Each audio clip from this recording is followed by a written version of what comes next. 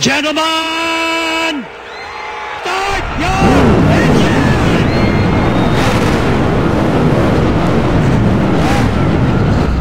Alright, take a nice big deep breath, buddy. Get your seatbelt tugged. Double check the steering wheel. Sit back, relax, get a nice pace, nice rhythm. And uh, go after a good day, alright, bud?